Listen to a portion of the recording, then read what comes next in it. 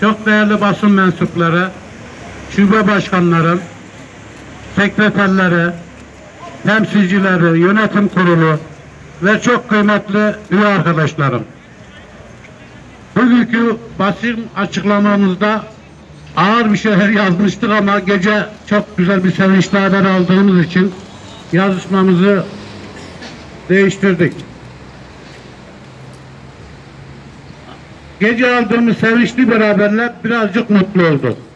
Ancak önceden basına ve sizlere haber verdiğimizden dolayı sayın başkanlarımda görüş alarak buradan işçi arkadaşlarımızla birlikte hem kıdem tazminatının rafa kaldırıldığını duyumunu aldık. Ancak hem duyarlı işçi kardeşlerime teşekkür edeyim dedim.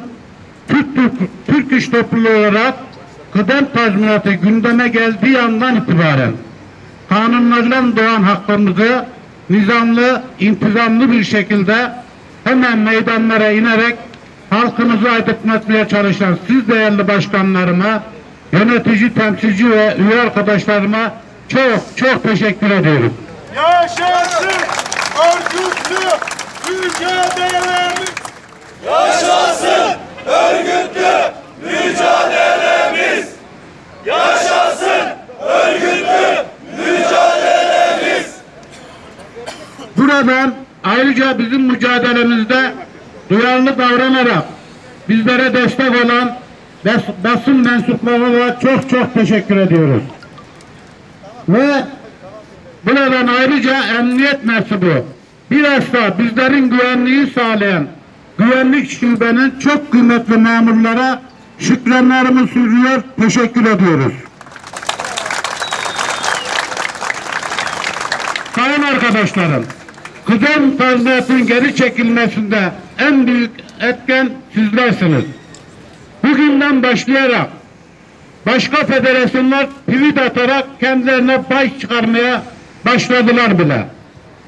Ama yukarıda Allah'ımızın gördüğü gibi işçi kardeşlerimize en büyük payın Türk İş Topluluğu olduğunu bileceklerdir.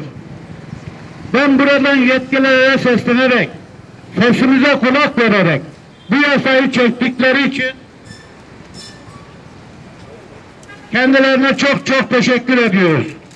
Bu badireden de ziyan görmeden atlattığımız için Allah'ımıza binlerce şükür ediyor. Hepinize hepinize saygı ve sevgiyle şükranlarımı sunuyorum. Hepinize çok çok teşekkür ediyorum.